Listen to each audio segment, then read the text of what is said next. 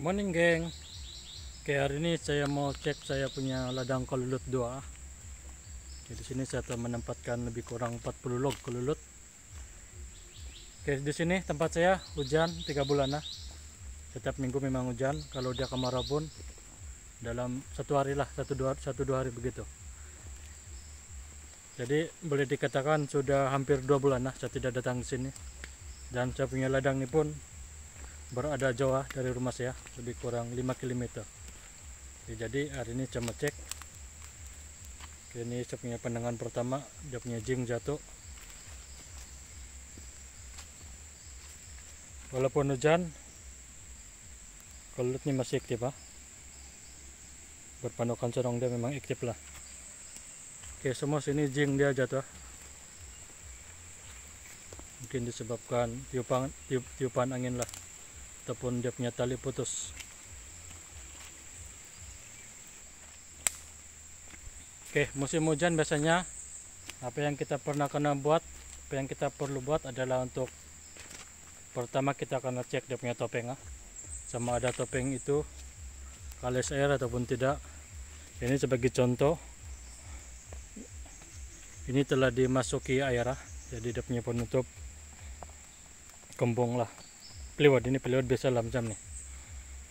Oke yang kedua biasanya musim hujan aneh-aneh aktif ah dia akan naik di atas log. Di sini tadi saya tengok ada beberapa telah dinaik, dinaiki aneh-aneh. Oke, sebab utama kenapa nenek suka naik pada musim hujan? Sebab tanah lembut ya. Jadi dia senang proses dan akan buat terowong lah untuk naik ke dalam log. Nah, macam nih. Dia punya terowong. Nah, ini nenek. Oke, ini log keras ya, jenis kayu keras. Dia tidak makan tapi dia pergi saya punya topeng. Nah, ini dia next ini masuk dalam topeng. Oke. Seperti yang saya sangka memang dia seorang sepunya topeng. Ini aneh-aneh. Topeng, topeng ini jenis kayu lembut jadi dia serang lah dia pergi makan di kayu. Nah. Oke, yang ini pula berlaku kebocoran madu. Oke, ini biasanya disebabkan oleh kembang polen dia telah berjaya masuk di dalam disebabkan hujan pertahanan kelulut tidak kuat dia tidak dapat memproses propolis jadi kumbang itu telah berjaya masuk menembusi pertahanan kelulut ya, kita tengok pun dia sudah lari dan memang koloni ini sudah lari lah. Kosong sekarang dia kosong.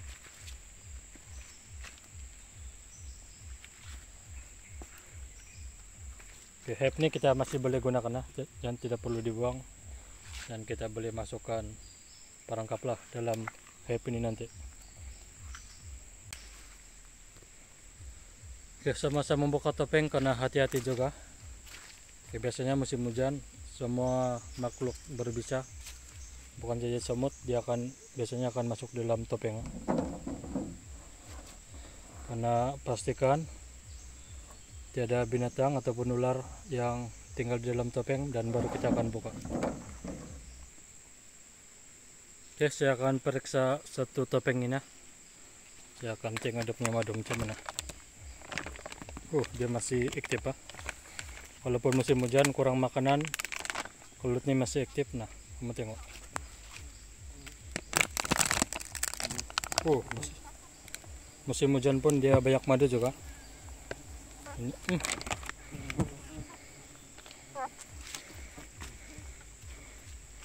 Oke kawan-kawan lari dulu. Ini kalau sedang menyerang. Nah, mau tengok. Nanti kita tutup ah. Si tenang-tenang dulu dia.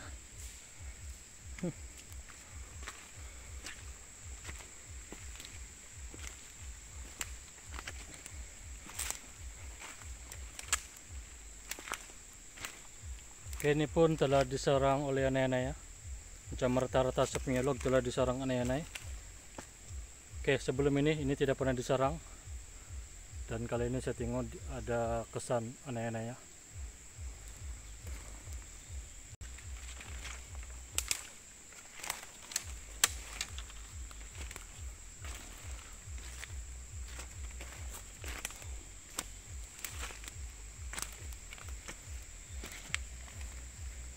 Oh, penuh. oh.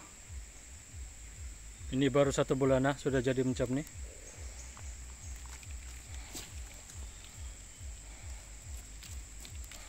Oke, cara mengatasi anai-anai daripada serangan anai senang sih ya. Ini tiang kita akan sapu minyak kita mah ataupun boleh gunakan racun racunan terus lah anai-anai. Jadi tidak racun pun kita boleh guna guna minyak hitam sahaja ataupun diesel lah untuk sapu tiang ini.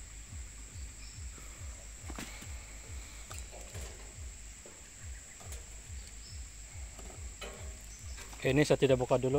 Nanti esok-esok saya akan terusan lah kawal ini aneh-aneh. Ya sini rata-rata ada punya jing jatuh di tiup angin.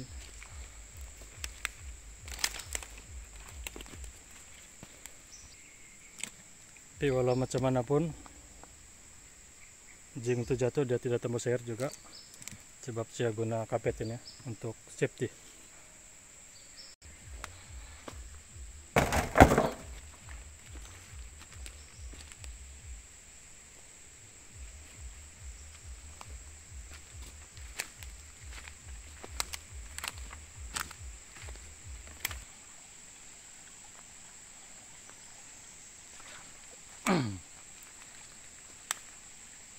Pada dasarnya semua dia semua saya buat mencamnya. Dan saya ikat dawai, tapi dawai ini pun ropot karena hujan. Dia tunggu putus ya.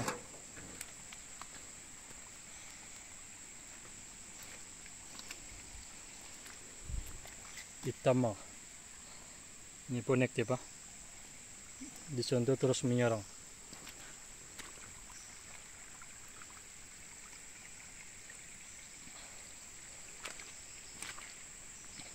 Oke, nampaknya log satu ini telah lari ya. Ini pada asalnya Itama. Kita tengok sekarang sudah tiada penghuni. Dan di sebelah sini ada Terminata masuk. Oke, ini kita akan biarkan sahaja. Sebab Terminata ini pun menghasilkan madu dan kita tunggu satu bulan lagi ataupun dua bulan kita akan cek balik ah. Potong paras telur dan pasang topeng semula.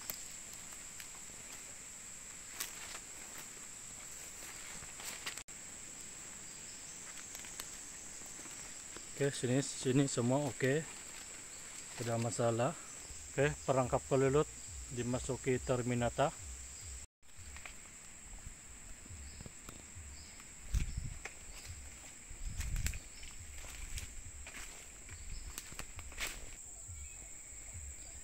Oke, sini kawasan Terminata, geng. Sini pun ada lebih kurang 20 lebih lah log. Oke, ini Terminata. Siapa tidak kenal Terminata, ini Terminata. Oke, sebelum buka topeng, kena periksa dia punya tepi ya. Jangan terus angkat. Sebab kadang-kadang ada lipanah be- bertapuk di dalam topeng untuk musim hujan ini. Oke, pastikan cara pegang, jangan pegang di bawah dan pegang beginilah. Dan angkat. Oke, untuk bagian dalam topeng saya tidak mau usik sangat ah sebab sekarang masih terlalu awal lah untuk periksa topeng belum musim madu lagi. Oke musim madu ikut tempat ya tidak semestinya bulan 3 semua tempat pun adalah bulan 3 tapi dia bergantung dengan kita punya sumber keliling ternakan kelulut lah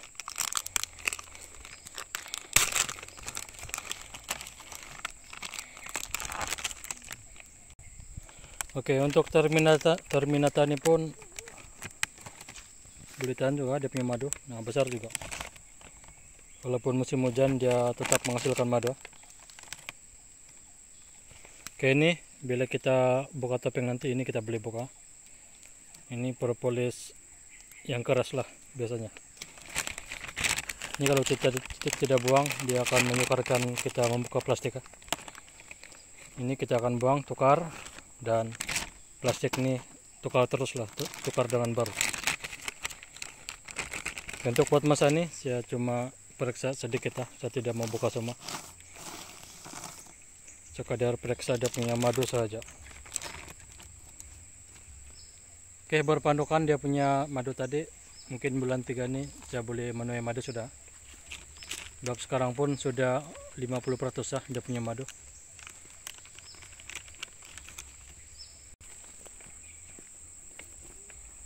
ini juga salah satu masalah koluta ini semut. Ini semut sebenarnya sangat halus ya hampir tidak nampak. Jika mau tengok bandingkan dengan jari saya. Walaupun dia kecil tapi sebenarnya inilah semut yang paling kalau tidak suka. Sebab dia tidak boleh tangkap ah. Dia kecil dan dia bergerak laju. Oke biasanya kalau dia dapat masuk di dalam log koloni itu akan lari terus ah. Ini kalau boleh kita reset terus lah si mati. Oke untuk mengawal semut kita akan gunakan reset ini tetapi jangan gunakan di musim kita menuai madu gunakan masa sekarang seperti sekarang lah pemantauan kelulut. Oke semutnya biarkan dia turun di sini dulu dan baru kita reset ya sebab saya takut nanti kena plastik. Tapi karena plastik pun tidak masalah sebenarnya. Kita boleh tukar. Oh ini pun di sarangannya ya.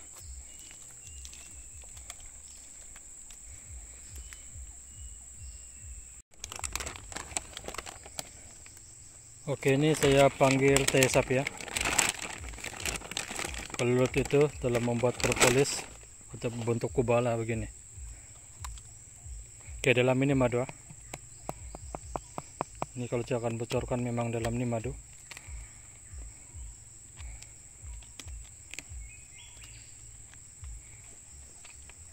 Oh madu. Oke untuk case begini ini kita kena buka propolis semua ini kita buang termasuk yang ini yang keras ini. Semua propolis keras kita buang. Sebab bila akan musim madu nanti kalau kita tidak buang sekarang dia punya penghasilan madu terhadap dia cuma akan buat di kawasan ini saja.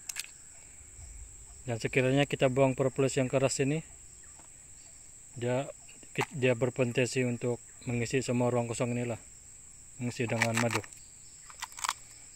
Oke ini semua propolis expired sudah keras.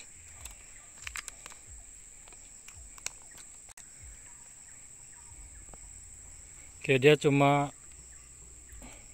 sebesar begini ya kecil sih ya jadi dia punya madu cuma ya ada di kawasan ini saja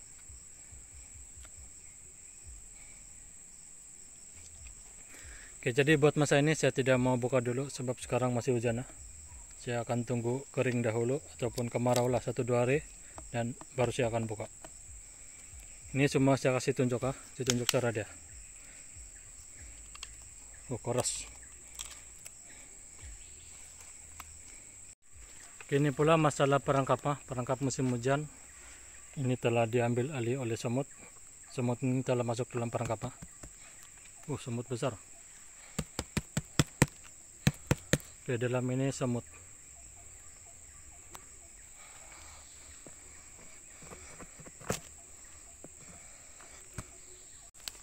Geng, ini ular, geng.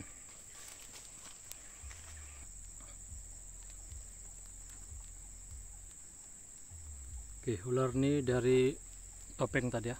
Mungkin dia cari cicak. Kita pun tidak tahu, tapi seharusnya memang cari cicak lah.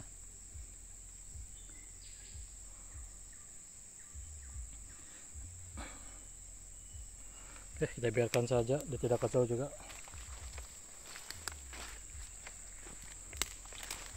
Oke geng, ini case lain ya, bukan diserang semut, mangsa lain, tetapi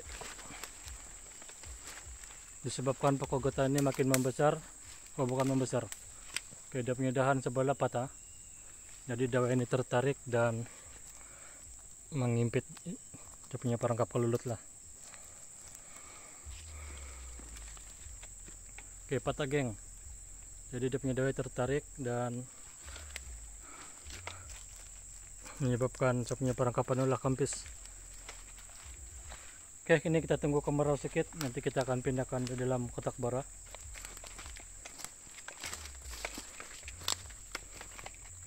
Oke, geng sini rata-rata telah diserang oleh anak-anaknya. Ini anak-anak jenis kecil. Oke, ini telah dimakan oleh tupai. Ditebuk madu dia dimakan oleh tupai ya.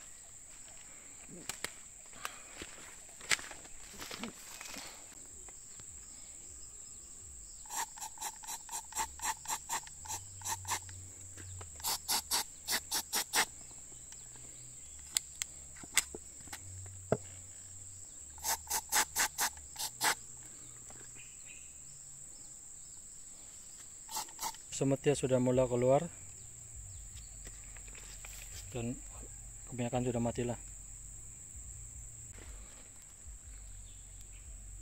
oke selamat.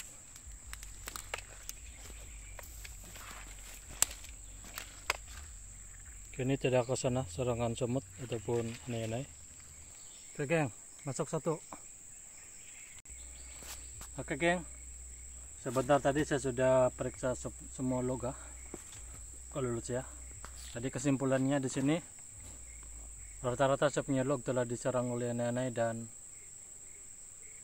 semut lah. yang depan ini nanti saya akan tanam buah-buahan untuk makanan kelulut. Sekarang sekarang ini pun saya sudah tanam ah 10% daripada keluasan saya punya tanah. Jadi sini geng kesimpulan dia kelulut kita kena pantau sekurang-kurangnya seminggu dua kali ya tapi di sini disebabkan hujan setiap hari. Jadi pemantauan untuk log kelulut terbatas lah. Di sini sudah satu bulan lebih ya baru sudah dapat cek. Punya semua log lah. Ya, jadi di sini rata-rata sapnya log telah disarang oleh nenek dan ada juga telah disarang oleh semut tapi itu tidak masalah kita boleh masih sempat untuk mengawal Oke geng, untuk makanan kelulut tempat saya tidak masalah sebab saya pelihara kelulut ini adalah di tengah hutan. Kebun getah di belakang sini tengah hutan nah. Dan dia punya keliling ke sini hutan akasia meliputi beratus-ratus hektar hutan akasia bercampur dengan pokok-pokok lain lah. Ini saya punya kebun nah. Kebun ini saya akan buka untuk tanaman jangka panjang dan pendek nah, ini seperti durian. Ini ada serai ada kunyit dan ya sekarang sedang menanam menanam bobohan lah. Dan bobohan itu nanti dia ada kepentingan lah untuk kita memelihara kelulut dengan bobohan. Seperti kita tahu kelulut ini adalah agen pendebungan yang baik ah. Jadi di samping itu dia boleh menambah hasil pendapatan kita untuk bobohan nanti kelulut membantu untuk pendebungan dan hasil kita pun bertambah dua hingga tiga kali ganda. Jadi sebenarnya tidak rugi ya untuk pelihara kelulut di belakang sini pun kamu tengok ada kebun getah. Ini pun boleh menjana pendapatan. Oke setiap hari kita boleh menarik getah dapat duit. Musim kurang getah ataupun harga turun ataupun kurang hasil di sini kita ada kelulut ya. Kita boleh tuai madu dan madu madu itu pun boleh menjana pendapatan nah. Oke, depan jani pun kamu tengok, oke itu kebun serai, sebelah sana kunyit. Dan sedang ditanam sekarang ini adalah buah Ini durian. Durian musangking ada lebih kurang 30 sekarang ah. Dan saya bercadang untuk menanam berbagai jenis buah lah nanti. Harap-harap menjadi dan lima tahun dari sekarang kita boleh kutip ah dia punya hasil. Oke ini big aja untuk makanan kelulut. Oke guys masih luasa kosong. Belum belum ditanam pun. Oke geng. Konten kita hari ini sudah selesai ya pemeriksaan kelulut tadi sudah habis. Jadi esok nanti esok saya akan sambung dan esok saya akan buat pengawalan terus lah nenek Oke geng, santai-santai dulu kita rehat-rehat dulu baru sambung kerja. Oke, kerja di depan ini masih banyak ah, banyak perlu dibuat. Kaya siapa petani itu tahulah apa apa yang dibuat di sini. Oke, geng, mantap.